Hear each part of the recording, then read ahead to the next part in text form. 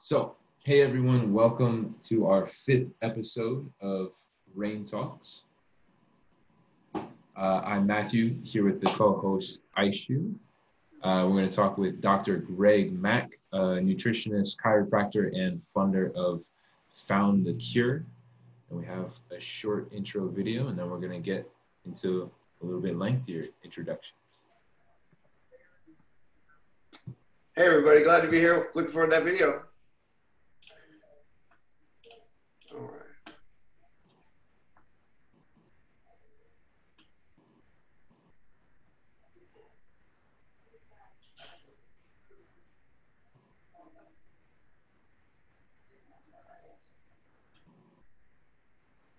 I should you have your sound on?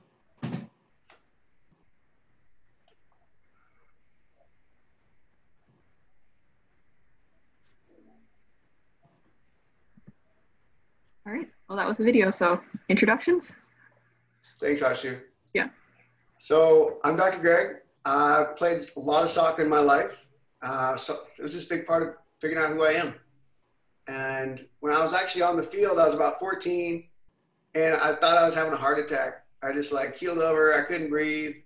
I just had severe pain in my chest, of course, like right near my heart. And it was like I was so scared. I didn't tell nobody about it, right? I was just petrified about death.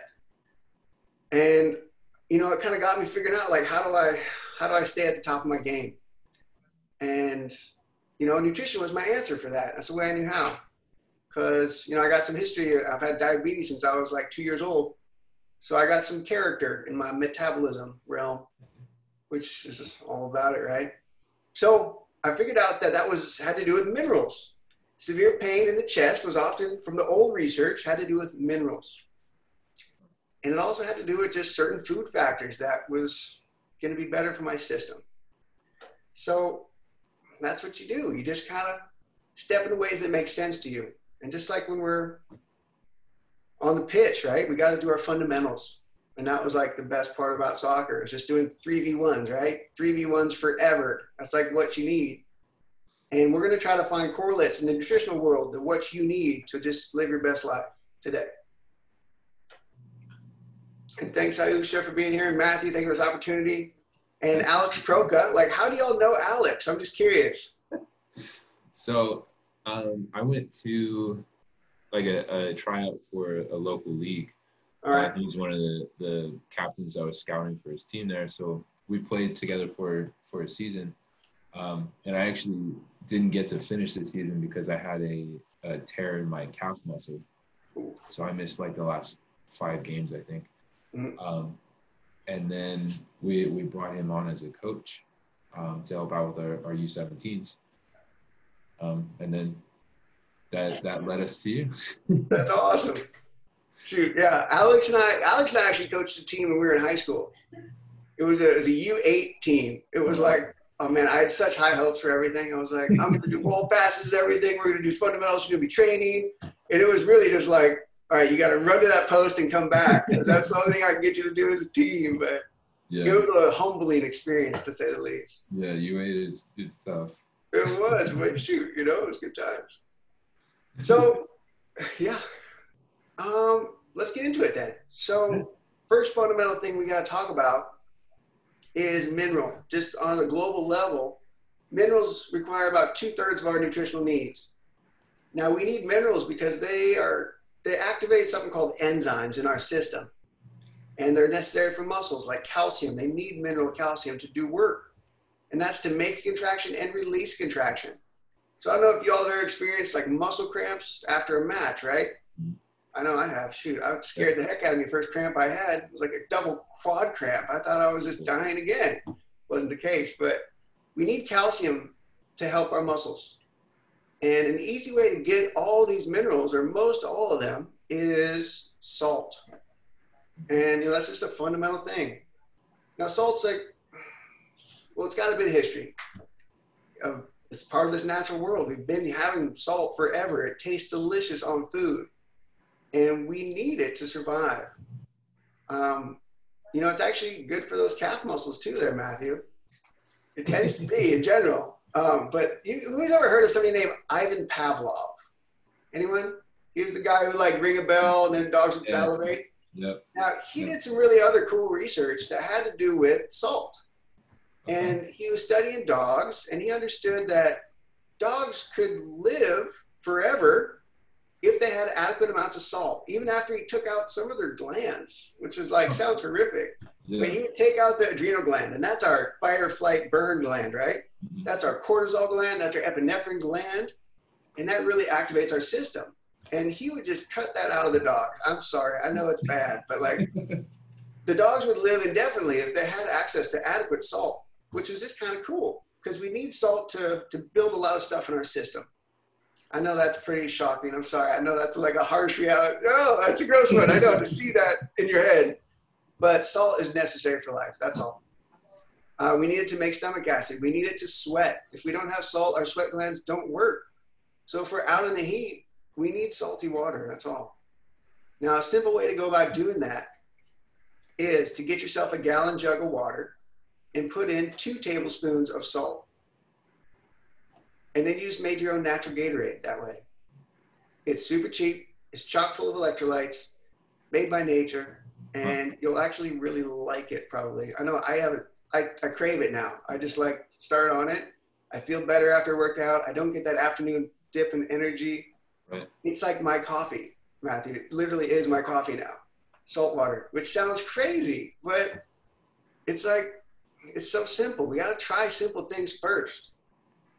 I think that's my favorite. That's what my call to action is. Let's try the simple things made by nature first and foremost.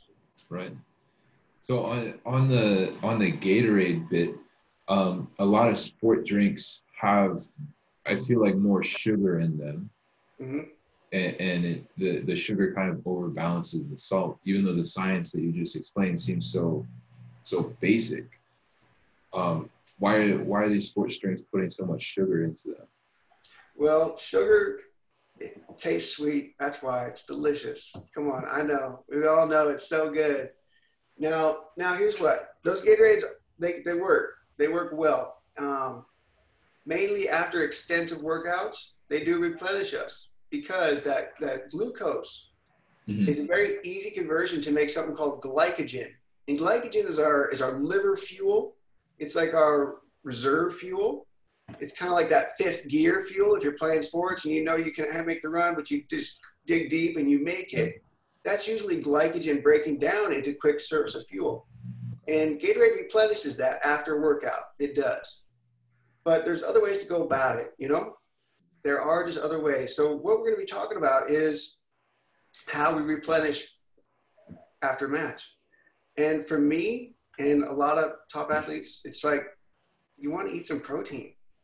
You do. It's just close to source. You want to get some rare protein because it's providing you with fat soluble vitamins. It's providing you with raw amino acid precursors. And you know, all those are building block materials. Right. But we'll kind of get into that in a little bit later. So yeah. Now let's talk about let's talk about Phil Maffetone.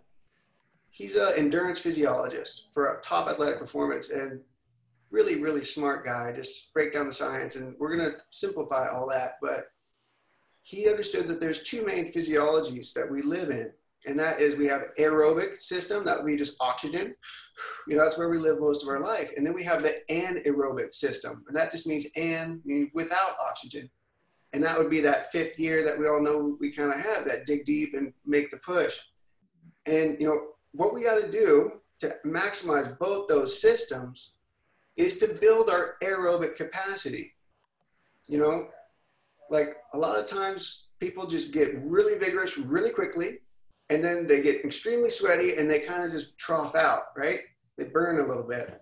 And that's difficult for top endurance athletes and extending our ability to play and that touch and all the grace we try to harness on that soccer pitch, We do better if we have aerobic capacity as our friend. Like I like to think about it like uh, you got like a big arch, right? And here's your aerobic capacity is all here, and then on the outside of the arch is the anaerobic capacity. So we need to go gradation of like the step here is to build your aerobics, and then that inherently builds your anaerobic potential as well. So we get better endurance with aerobic fitness. So I'm just curious, like, how often are y'all sweating? I know you're sweating when you're at practice and when you're sweating at the matches for sure. But even on your off days, it's really nice to get some aerobic and push it a little bit. We did just launch a poll that asked that question. How many days per week do you complete an anaerobic exercise that makes you sweat? And this is when you get sweaty, and that's good. We need to push that. So, oh, good, good, good. All right. Now, it's just gradations, just like we work on our touch, just like we work on our fall pass fundamental skills aerobics are where we live most of our life. So I love high intensity workouts. They're exciting. They get me jammed, right? It's super fun. It's exhausting in a great way. But we need to balance that with aerobic fitness because that's how we get that six, you know, the 95th minute stuff is all based on aerobic potential. And one of the simple ways to go ahead and do that is like you get sweaty when you're at practice. Do that. That's fantastic. But aerobic work out of practice, outside of practice, is going to be like doing some motion that gets you right until you begin to sweat. You want to slowly ramp up. You're doing jogging. You're just doing walking. You're just doing stairs. But you want to sustain the burn until you get to the super sweaty spot. Because when you get to super sweaty right away, that means you shifted to anaerobic and then you're pushing that potential, which is great. We need to do that. But let's just build slowly, just like a match, right? Just like a proper warm up, just like proper cool down. You go, go, go, go, go. And then when you start to sweat, you do the cool down. So it's kind of subtle thing, but it's just, it works in a good way for long-term endurance. Yeah. Hill yeah. Sorry, Matthew, go on.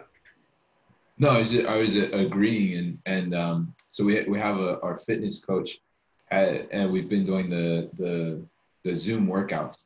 Mm-hmm. Um, it always starts with a stretch and then goes straight into like a, a light jog. It's just three three steps forward, three steps back, and it gradually builds you up. And then maybe you're sweating for maybe 15 minutes at a maximum, and then it starts to come down. And then as you bring your heart rate down, then you go into another stretch, uh, and that takes you to the end. So, you, you know, we're, we're hitting all of those things within one like hour long intensity workout. I like that. And I like how that ramps like that. Mm-hmm. You know, yeah. we need that kind of. That's what we do on the pitch. We're not running nonstop, but we got to kind of raise and fall, raise and fall. Yeah. It's all about so that. sounds awesome, Matthew. And reaching out to folks at the Zoom is like it's a cool way. This is brand new. So now, Phil Maffetone is good for that optimizing motion. All right? mm-hmm. that's kind of like how we move in life, right? But you know, there's other work that we can do to just optimize how we fuel ourselves. And now I'd like to tell you about a website. It's called www.ptoer. That just means protein to energy ratio.com. And this is fantastic work by Dr. Ted Naiman. And he's talking about global work just as a culture in America, we tend to deal with obesity. You know, it's just a big thing for our culture. And he understands that when we have our protein levels met in a dietary stand, we're no longer hungry. So that's the rate limiting factor for people. Now, he understood that hunter gatherer culture had about 33% of their diet was protein. Now, that's pretty awesome. If you check out that PTOER ratio, you can kind of play with it and play with the calculator. But typically in America, we're eating about 11% of our diet is good protein, usable protein. Now, that's tough because we're eating more and more and more trying to fill our protein needs, but we're just not having enough. So we just keep eating more of the same food that we're eating, which is like mostly the American diet, which is crisp, carved, sugared, everything. So he understands that when we shift into more protein foods after meals, before games, all these factors, we optimize our nutritional energy instead of having that up and down cycles, and we just are no longer hungry. And that's good because, you know, eating a lot of food takes a lot of energy too. And protein tastes delicious, right? Who doesn't want a steak after a soccer pitch, right? At least I do. I don't know. now, other ways you can get around it raw mushrooms are chock full of protein. It's like they're pure protein. That's pretty awesome.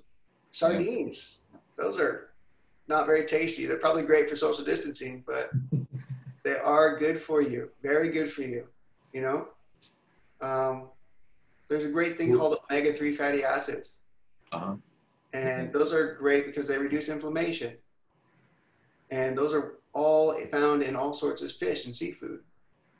So you know, what we want to do is just optimize our own choices Mm-hmm. because you know sometimes when we just have empty calories they, they cost us twice you know once we actually purchase them and once when we you know just eat an empty food Right. and those would be the things that are usually really advertised Yeah. you know this is not as you know if they can have a whole adver- advertising campaign probably not the best thing for you you know Yeah. I nature like a lot of those, the especially the ones that do the advertising and, and the chips and all are more more to engage the, the mind Mhm. because, because they are empty calories, but they fill that that eating uh, action. Like I'm picking something up, I'm chewing it, something is going down to my stomach. It's not helping me at all. Uh, but now I'm not going to be hungry for maybe 20 minutes. But then I'll have to get another bag and do the same thing. So it's it's more mental, and it's very difficult to to break those types of um, brainwashing. You know, you said it right there, Matthew. It is very mental. And, you know, those people, they know exactly what humans want to eat based on flavors, based on calories, based on fatty food. And they just mix it all together in a little focus group cocktail of like, oh, that's going to get them hooked. And that's tough because it's like it's everywhere. Yeah. You know, it's literally, it's everywhere. Like if you go to the grocery store, what do you eat, right? That's kind of like it was. That was a tough thing for me because I felt like, oh, I was I was afraid of food. And I don't want anyone to be afraid of food, but I just want people to know what is the best part about foods that are going to get them long term well being. Like, just imagine. well, here's what. Imagine you got like a hundred soccer players, right? Mhm. And what if out of those soccer players, one out of every two male soccer players had a circulatory disease or they had a heart attack, you know, or a heart disease.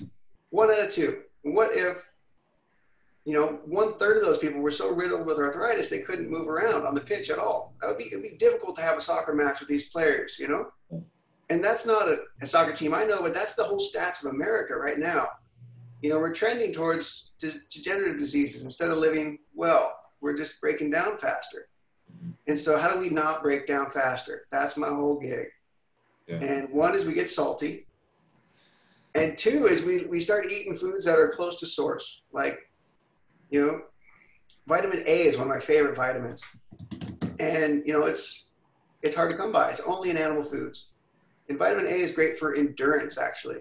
So it keeps you going long term. And there was a cool study in South Africa. They did this on trained cyclists, which are just, you know, running on those treads, right? Mm-hmm. And they were going, going, going. And the, the high carbohydrate diet group was, it was about, they burned out half as fast as the low carbohydrate diet group. So they had one group that had 73% carbohydrates in their lifestyle, and the other group had 7% carbohydrates. So that means one group had a lot of cookies and one group had no cookies, right?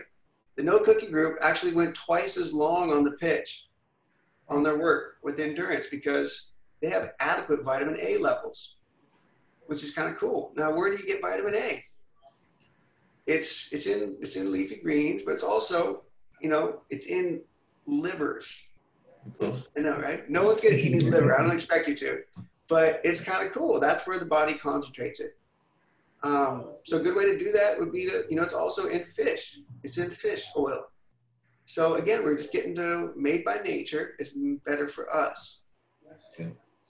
And yeah, it's cool thing about that though is like, you know, these these things that I really love are called fat soluble vitamins, meaning that they're in fat. Mhm. Now, what is the best source of fat we have around that tastes delicious? Butter. Butter is like the holy grail of these fat soluble vitamins. It has everything. has vitamin D, has vitamin A, vitamin E, and vitamin K, and vitamin F, which is just a term for essential fatty acid. And that's just it, essential fatty acid. A lot of these foods I'm talking about, you know, they are essential to life. Uh, there's no such thing as an essential carbohydrate, which is tough because those are the most prevalent. But you know, I think we're craving space on this classroom earth, right? We can eat like kings and queens, or we can eat, you know, what we've been told to eat.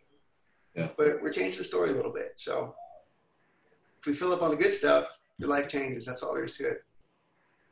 Yeah. So let's see. Now, my favorite vitamin E is your muscle recovery vitamin. All right. That's going to be actually muscle builder vitamin too. Because who knows, when you work out hard, right? You actually tear the muscle fiber and then it heals the next night, right? So you break down, heal, break down, heal, break down, heal. And that's kind of how muscles develop and grow. And that's how we all do. It's like that whole analogy of the lobster shell. We need that little bit of stress to then do better, do more in life. And that's it. We just want to have good stress. But we need that vitamin E to build muscles. That's where it's stored. And so if you eat foods that are muscle meat, like protein, like a steak, like chicken, like beef, you know, all those things all have all the things that you need. That's what you are. Like we're flesh on the inside too. So that's kind of old premise, but like begets like, you know? If you eat those foods that are close to source, close to what you need, it's just easier for your conversion into living the best life. So yeah, I'll just keep talking about steak forever, probably, but because it's just so good. And butter. Uh, just today, I got eight pounds of butter shipped it to me, and it's just so delicious. I just love it. That's a lot of butter. It is a lot of butter, but shoot, why not, right? What are So- you planning to do with all the butter? You know, honestly, I put it on top of my steak. and I just, yeah, that's it. Keep it there. It's good to have. I give it away as gifts too. It's just a nice conversation. But it's seriously, if you're giving away all the fat soluble vitamins, that's Uh-huh. just like, that's the gift that keeps giving in my book. And Yeah. but that's how tomorrow could look. You know, you can have eggs for breakfast. Uh, you could have a little crisp salad for lunch. You know, I love fresh things. I love fresh and green things as well, because those are also just very close to source. Close to source foods are, you know, closer to nature. Closer to nature means closer to the rhythm I want in my life. You know, there's. I just don't think we do very good with chemicals. We just they're brand new. Like our, we've changed so much in the last hundred years. You know, our sugar consumption has increased 100 fold than what we were having 100 years ago. Like, Mhm. and you know, people are blaming their genes for not fitting. That just doesn't make much sense in my mind. You know, we got to understand the environment. If we can create a better environment, that's how we just help our community. We help our community. That's how we help our world. So there's lots of ways to go about it, of course. You know, like you said, Matthew, the mental aspect is so big. And I'm just working on food, physical aspect, you know? Because Right. that's just, it's all just different layers, but that's what I love more than anything. So, you know, tomorrow could be eggs for breakfast. You know, you can go Rocky style. You can have them raw if you wanted. I, I don't like that. I tried it a couple times. Like, oh, no, don't need to do that. But eggs are a good source of fuel. They are. It's really good protein. And you have them sauteed Mhm. with butter. Fantastic. So when you have that kind of fuel, it's going to sustain you for longer. And that's what we want to steer towards with all form of athletic performance is that endurance. And endurance, okay, it's not as shiny as like the flash and the, all that, but that's what we need for those tournaments, for those long matches, for the end of the season. We're all animals of endurance and aerobic potential. Yeah. And if we eat in accordance with that, we just are closer to source in that. So for endurance, we want to increase the protein. That's a fuel source that doesn't spike. And that way, you're in control of your own, you know, appetites. Because the carbohydrate spike is literally a huge spike up. Insulin levels increase, then we drop down, and then we're hungry again, so we go right back up. And it's just up and down, up and down, up and down, and it leads to a lot of stress. So what do you do for breakfast? How often you skip? How do you not? I don't know. I skip it. I actually put that that poll out. Iceberg Matthew, thank you. Yeah, it's you know now the, the millennials just call that intermittent fasting, so that's okay. Mhm. But Yeah. honestly, breakfast, if you're gonna skip a meal, that would be the one to skip. Because any breakfast is really just the time you break your fast. And you know, that's it. You, all night you have no food And then sometimes you can wake up, kind of get your blood going a little bit, get a little movement. That's the best time to move, get your metabolism ready for the day. Exercise and water is my thing in the morning. Okay. Hydrate, first thing, just get a big glass of water. It's Yeah. amazing what that does. You know, we talked about that salt, but water is actually one more important than the salt. So, You wouldn't recommend having, you know, a cup of coffee as your breakfast. oh, you know what? You could put a lot of butter in it. That got really popular recently. yes, coffee is delicious. I know, but just you want to counter it, actually with a bit of water. You know, you got to mm-hmm. have a coffee cup with your water cup. That's a balance point. You know, it's all about finding that middle path, I think. Because I don't want to go live in some food monastery where I never have any of these things, but I just want to fill myself up with things that are going to be well. So you can still have coffee. I would put some butter in it though. You got to try it at least. Blend it with butter. Oh, it's like a milkshake. it's seriously like a coffee milkshake. And what is that full of though? It's full of fat soluble vitamins. It's good of full of fat. And when we eat fat, we actually have two different types of metabolism. We have glucose-based metabolism, and we have something called fat metabolism. And we do better with fat metabolism long term because glucose is the one that's the fuel, that's the sugars, that's the everything easy to find.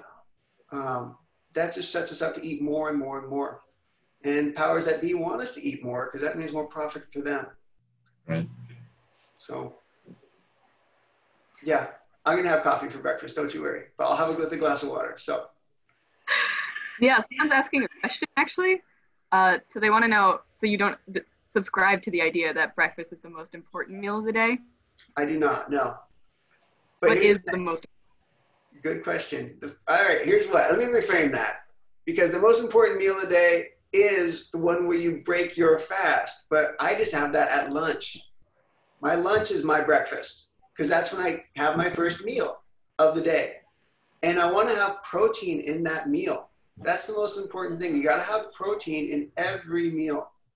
All right, that's going to be good for your brain, keeping your head happy. That's huge. Yeah. And it's going to be good for your energy because it's more stable than having Oreo cookies, you know? Because I know once I start those Oreo cookies, I cannot stop. And I just keep going with the Oreos until they're gone. It's the same thing with ice cream. It's like, how is this even around me? I can't, like, don't bring that home. Don't bring that home, right? It's a trap. So you want to fill up on protein, and that will get rid of your cravings. And that's a win. So, yeah, protein is the name of the game. You know, that's what Dr. Ted his work and that PTOER calculator. Kind of fun to check it out.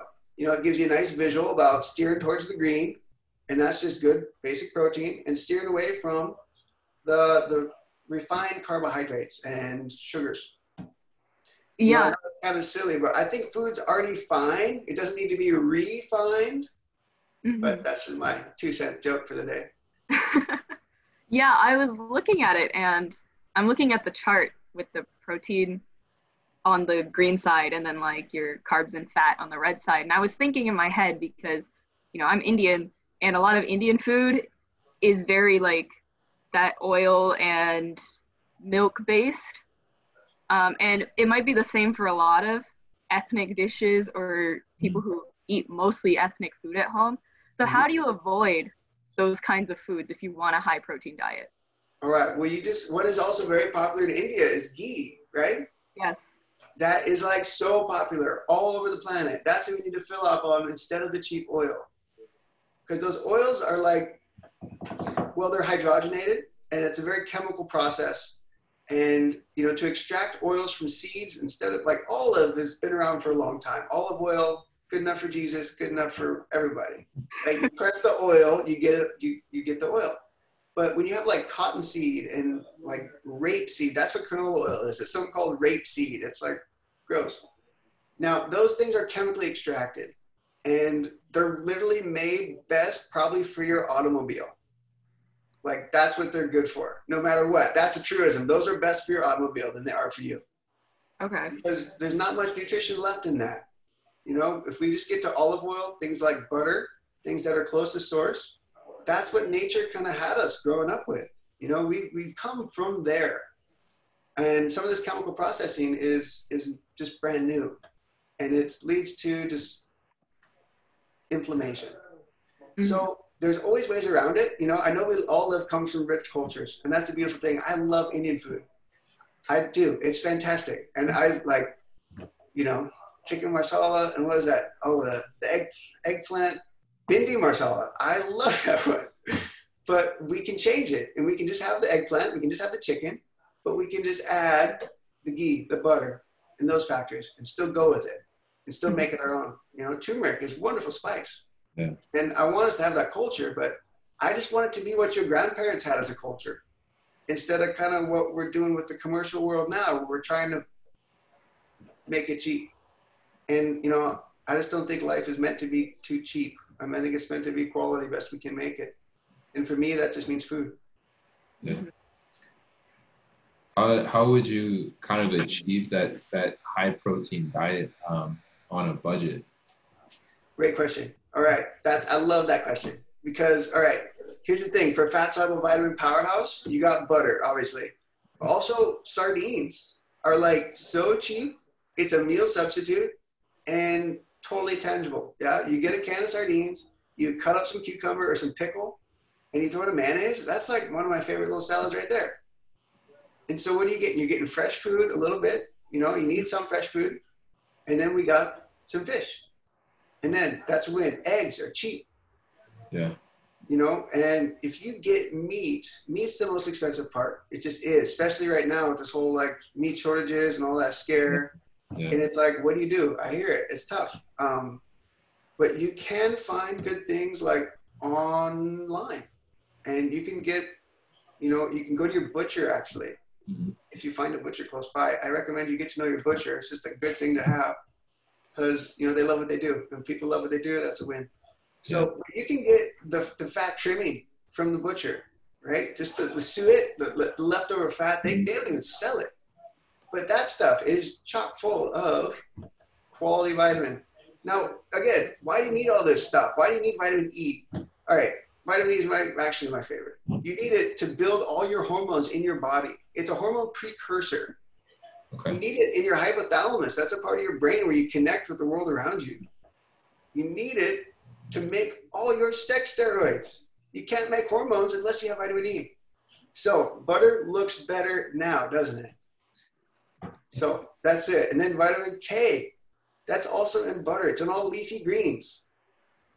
You know, you're getting it in your parsley, you're getting it in your your, you know, your everything green has vitamin K, has vitamin E. And that's what we want to stick to, yeah? Is like things that you can recognize as ingredients in food. Like potatoes are cheap but at least they're real starches instead of like you know cornflakes. Yeah. And I know I I I, I admit my parents didn't buy many like sweet Cheerios, right? They did, but we have to split them half and half. You know, half honey nut, half regular. And I'd go to my friend's house, man. Oh, he had a whole closet full of sweets. And I was just like, oh, I would just, first thing, I just get toasted fruit, Froot Loops, all the things and I just mix them all together and I would just smash that bowls and bowls of cereal. Yeah. Why? Because it's like it's addictive in your brain. It is, and it's what I couldn't have. But like, it's tough, boys, girls. It's like it's just, it's tough to build your life like that because that's just a never-ending hamster wheel. And if we're not in control of what we eat, how much control do we even have in life? You know? Because yeah. then we're just on our whim, on our whim, on our whim, on our whim, and we're all over the place. Mm-hmm. So on a budget is tough. It's real. I get it. Um, but you can get ground beef. Honestly, it's cheap. You put butter on top, and that's a good meal. Just a ground beef, and then the next meal I'll have some salad. And salad's a little bit more expensive too, but an ounce of prevention in this kind of work just does dividends for long term. Because I want to steer away from those statistics. You know, I just I need to. Um, you know, those statistics scare the heck out of me. They just do. You know, one in five men, one in three with arthritis. It's like that's so scary stuff. Yeah. But we can make a change now because there's there's no miracle cure for those degenerative diseases.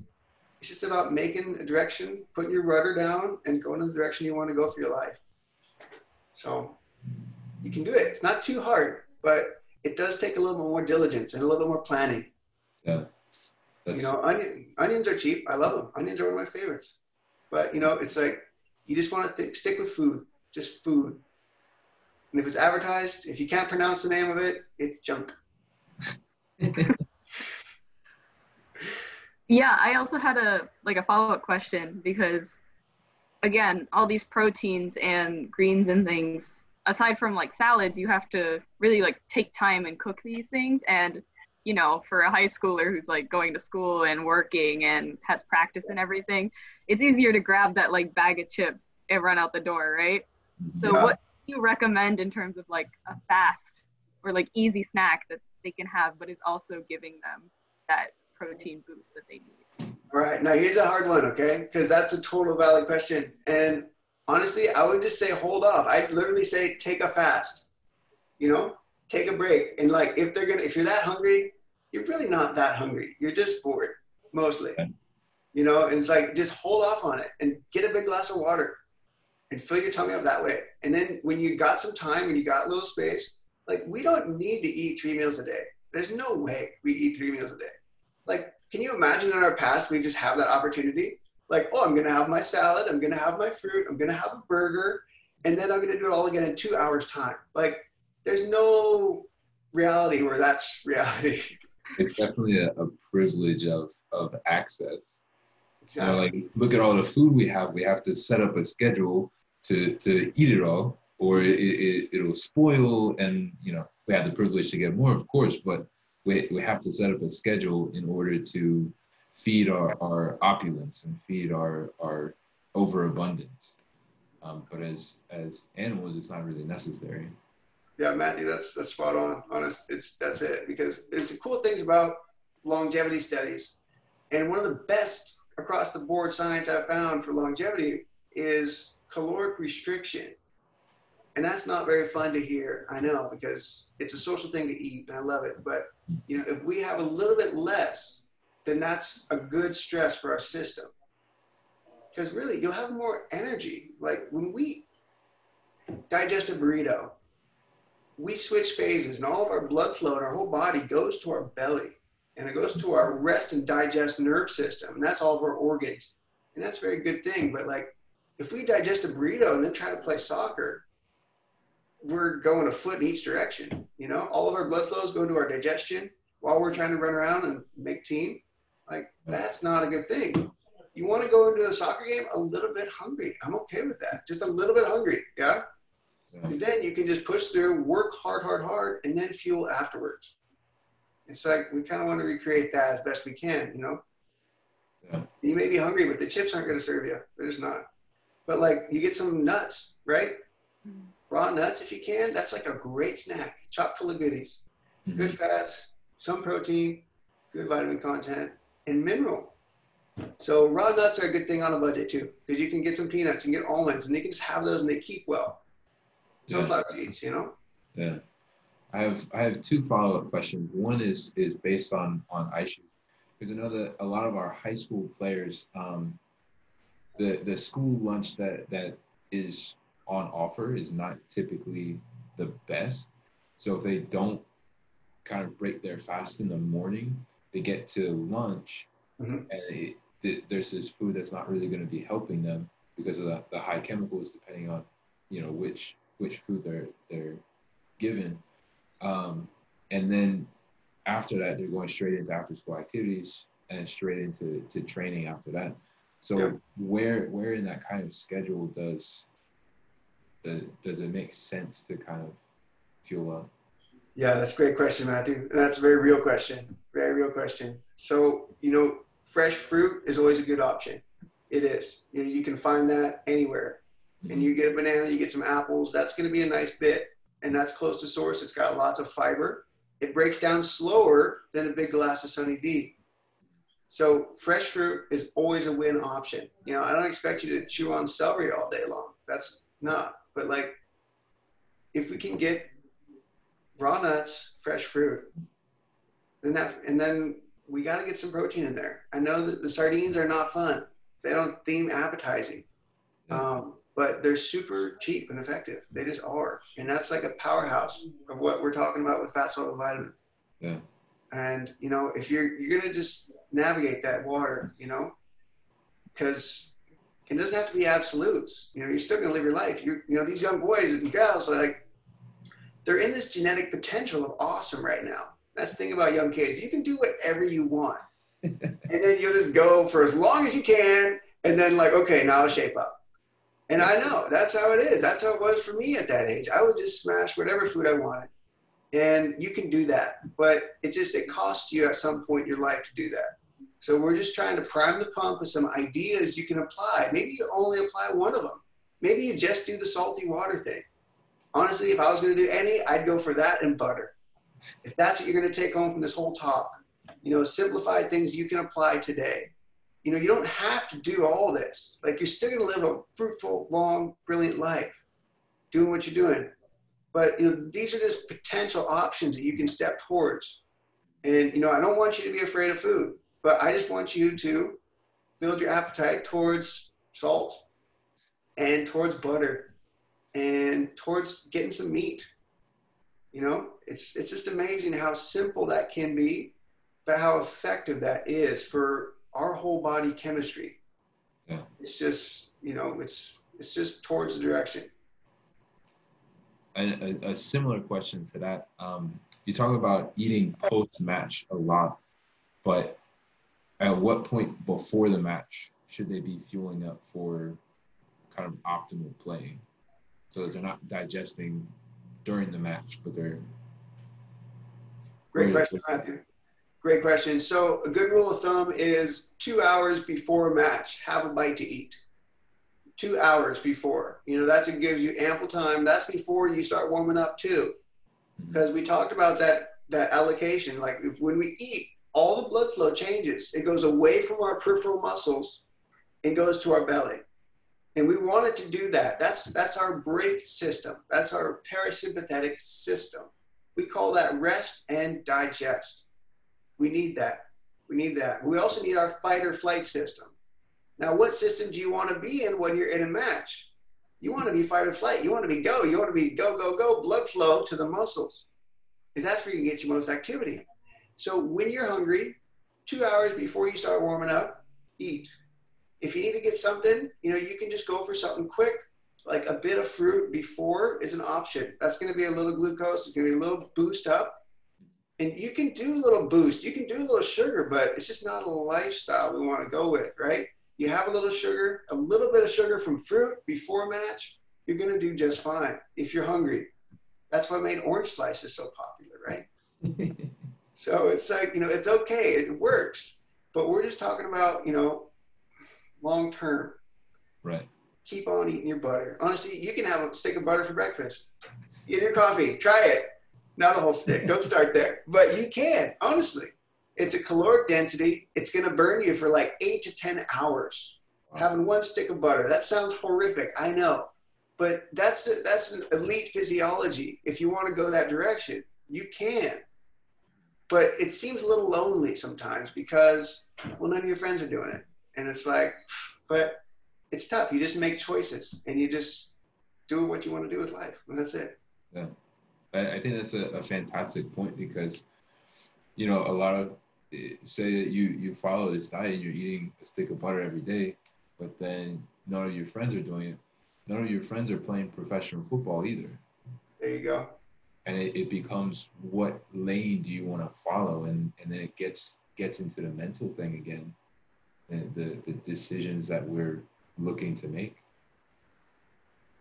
that's just it you know it's like we got to make some sacrifice at some level you know i think we got to choose and just stride in the direction of what we know to be true yeah. and you know it's not you know fitting in is a cool thing i get it i know that age big time important but you know, you just you go through little windows, you go through little phases, and sometimes it's like the most important one for you and the ones you love is actually like building your own epicenter.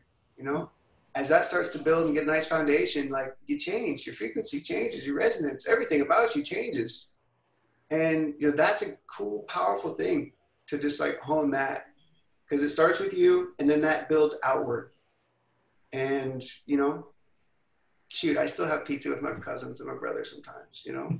but it's just not how I feed myself, right? If I'm out of a social thing, I can just do that for a bit, but then I go back to my life.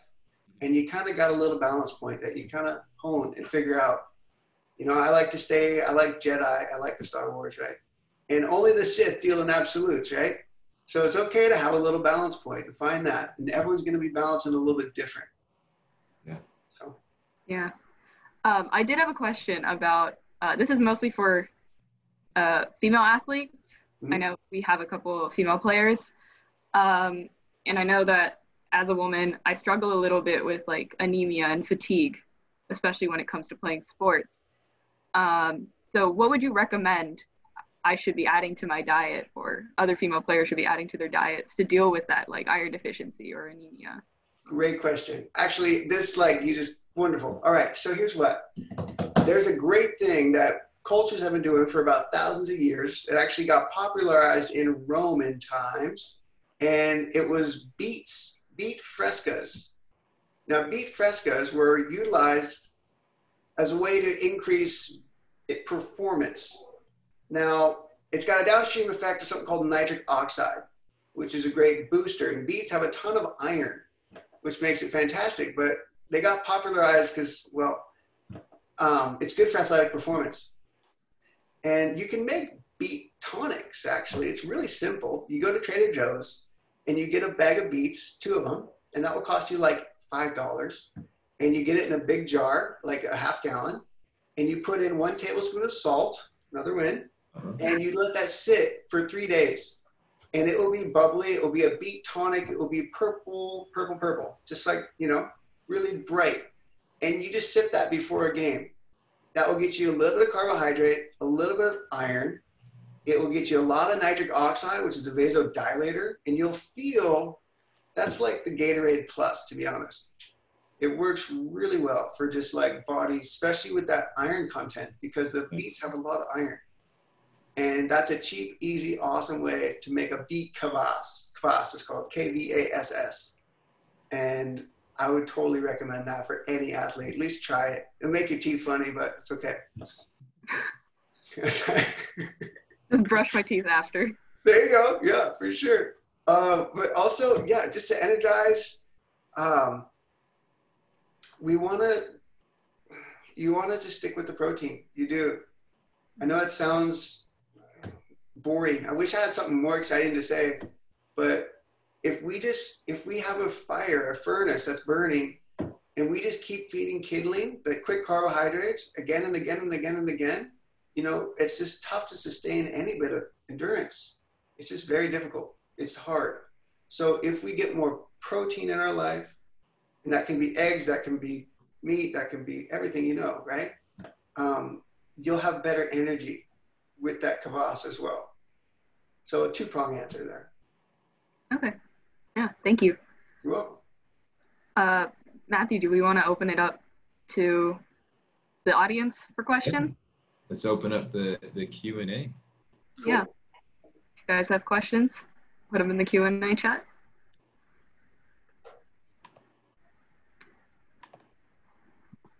We should have set that up before.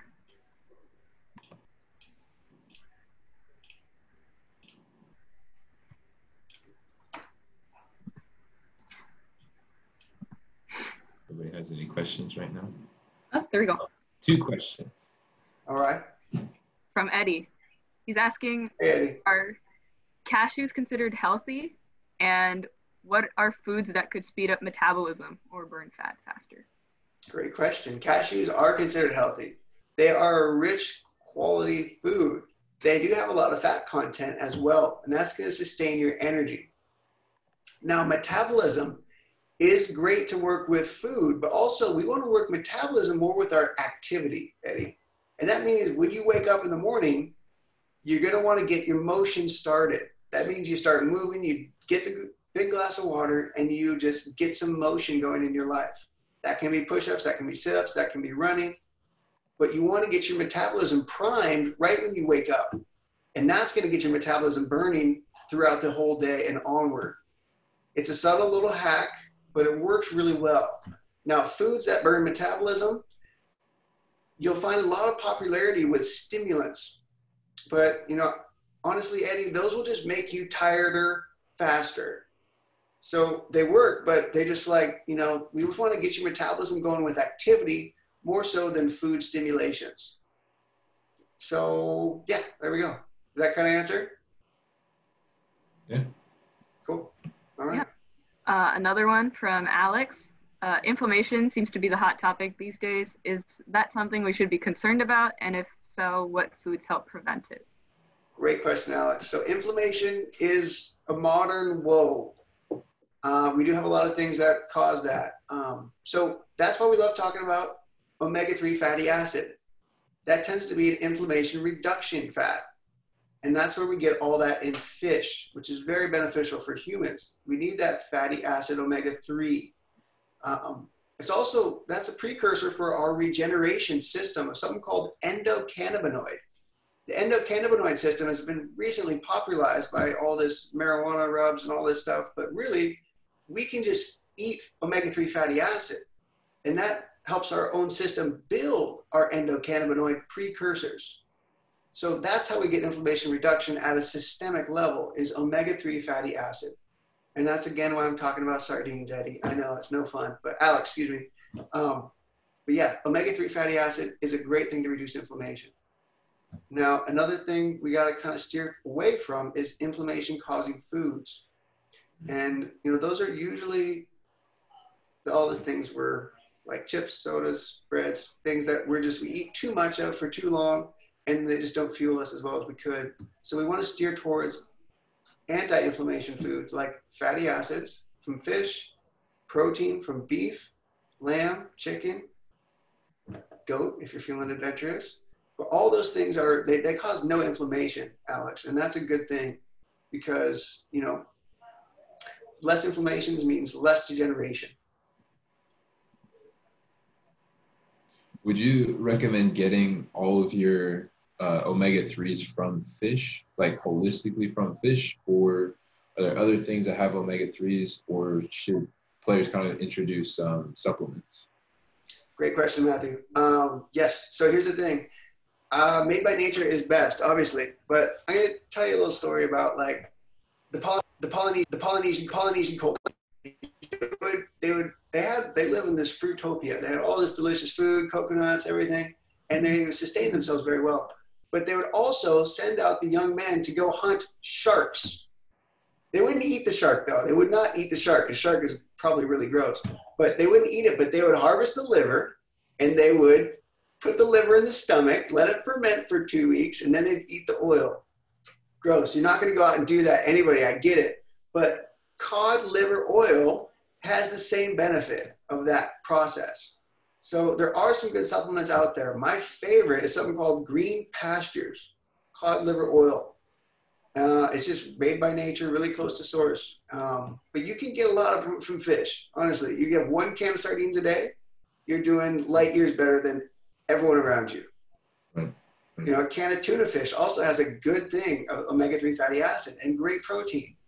Mm-hmm. So you can do well just doing what you're doing. But supplements do serve a purpose it's just sometimes they're a little refined and you know they just are they kind of sometimes they'll take out all the vitamins and they'll put them back in in a refined substance and you know vitamins all work together like a symphony especially the fat soluble vitamins uh, there's active components but also it's like they're all different tones and that's a bit poetical but it's like trying to play mozart with a cowbell you know if you only have one type like alpha tocopherol that's the cowbell. But you have all these different tones you need to get. Like there's 13 different tocopherols. And vitamin A, vitamin D, those are, you know, made by nature. Let's try to get them from nature first. That's all. What's the the the, the difference in absorption? What was that, Matthew? What's the difference in absorption? So like um, a, a man-made vitamin versus a natural vitamin is there a difference between which ones absorb better or great question so there's a yes there's a thing that happens with all chemicals um, it's about how light hits it's called stoichiometry it's an organic chemistry principle and it's actually linus pauling who popularized vitamin C, who came up with this understanding of something called chilarity. And chiral molecules will either rotate light to the right or to the left. And when you make chemicals in a laboratory, you get a 50 50 split. Now, when nature just happens to live their life in natural flow, most proteins are to the left and their shape and how they polarize light. It sounds really weird, but just, you know, what was that song? Yeah, pass the dutchie on the left hand side. I don't know if that's true or not, but left hand side is better shape, and that's made by nature. So when we make things in a lab, we always get a 50 50 split usually. Now they're doing cool things now where you can get just left handed shaped stuff and they're better absorbed. Um, yeah, but nature just made it better, honestly. And We, we've never made a food ever. We've never made a food that reproduces itself. Right. And when we try to take apart nature and say this is the only thing we need, I think we miss a lot of the beauty there. Like big time because yeah, it's just we when you eat natural food, you eat you're getting what you know about and you're getting what you don't know about yet either. And that's the thing about, you know, like vitamin E with that alpha tocopherol. That's the popularized one. But you know, to date, there are 13 different tocopherols that are benefit, and there's eight different tocotrienols. So why are we just getting one of them isolated? You know, that's going to be a that's that's a cowbell, and I want the whole symphony. I want it all. So we do better when things are made by nature because it's just more attuned to us because we're a product of nature. And yeah, that's a tough one. Sometimes these are tough fellas, I know, and gals. It's just like you we just do our best, you know, we just do our best. Um, I do have one more question. Uh, speaking of taking food from nature, what is your opinion on like those impossible meats and beyond meats, those lab grown types of food? Um, yeah. Like the same in terms of nutritional value? Are they different? Well, here's what if you look at the product list on ingredients in those impossible burgers, it's it's a whole list of ingredients. And you where do those ingredients come from? You know, how close to nature are those ingredients? You know, is it is xanthan gum part of nature? I don't know. Is that just a chemical that is then put together with a different chemical with a different chemical? You know, I think we're trying to create something that the ruminant digestive belly of animals and cattle have been doing for forever, for thousands of years. And we're trying to make something out of pieces. And that's a slippery slope, I think. I think it is. I think it's just I don't I don't want to play that role. I don't want to be the one that determines this is all you need, this is what you don't need, because I don't like being wrong. And you know that is a thing. So those impossible burgers, they're not very cheap, one thing, and they're well, they're chock full of estrogens. There's like there's so many estrogens in those foods. And I want to make my own hormones. I don't want to have them fed to me personally. So I think steer clear of that stuff. Yeah, it's just tough to try and be like ethical while still consuming meat, especially in this country. Mm. So, that's that's a valid thing. I get you on that. It's just there's a lot of junk meat out there. There is. There's a lot of junk stuff. I know, and it's tough to see that. But you know, a, a different frame of reference, different perspective shift we can hold is like, you know, I I know it's not financially available for everybody, but you try to support something you like. You know, there's some great people out there doing regenerative farming. You know, that's a carbon positive. That's a great thing for our world. And if we can support that just a little bit, you know, that's going to trend our decisions about like what we vote on every day with our food choices. And the more we support real food, the more we just get back to a natural rhythm of things. And, you know, cattle, yeah, it's tough. I know. They're cute. They're awesome. I love my dog. Of course, I'm never, but like ruminant belly animals, you know, that's what I think there's somewhat of a, a purpose for all things. And, you know, taking care of an animal and being a good husband to that, you know, and then caring for it, nurturing it, and then like getting the fat of the land. You know, I think that's a beautiful process that's been pretty tried and true. And, you know, if we shift all the way towards veganism and the monoculture, you know, agriculture, you know that that kills a lot of young animals and rodents and all these other factors and they just get sprayed and they're you know it's just tough on the soil and it's just it's more la lifestyle and it seems all shiny and pretty but like ultimately i think it's more destructive for our land and for our topsoil and for you know things that we know to be true instead of trying to make a new truth. Because you know we've never had access to kind of fresh fruits and vegetables like we do now. And you know it, that would never be sustainable you know? We always had fermented goods and like kimchi and sauerkraut that kept the freshness throughout the years. Or not years but you know what i mean? And so we just it's difficult to just have access to whole foods at all time and that like you, you can go get anything you want and that's like we're surrounded by plenty we don't even know what to eat anymore mm-hmm. and you know the ethical things are tough and you're gonna have to make that decision for yourself but i would recommend Dr. Natasha McCampbell McBride for a cool resource about you know regenerative farming or Michael Pollan, he does great work. Also Joel Salatin, he's like my favorite.